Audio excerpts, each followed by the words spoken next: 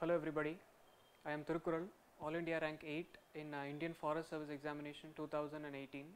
I have taken uh, forestry and geology as my options this time around. Education wise, uh, I am an electronics engineer from Madras Institute of Technology, after which I had worked for one year before quitting and uh, joining preparation. So, one thing I would like to say is uh, this is not an individual victory, meaning my own personal efforts alone were uh, not enough for this success.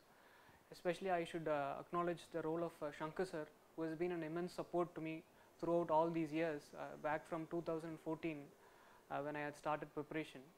So, this is my uh, third attempt uh, overall and my second attempt for my second interview experience and all these years Shankar sir, Rajita ma'am, Karthikeyan sir, Ganesh sir and Arun sir have been an immense support to me to in reaching this milestone. This time around I have uh, I made my preparation more structured.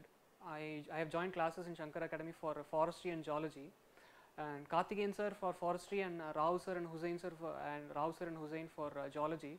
They have uh, they have done a great job in preparing me for uh, this examination and uh, its ups and downs. And ultimately, I should recognize I should recognize the roles of my role of my friends and family, especially my mother, and who has done a great job uh, in supporting me.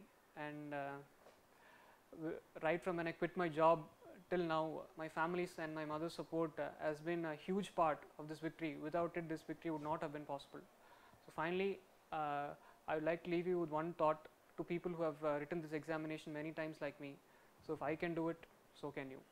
Thank you. All the best.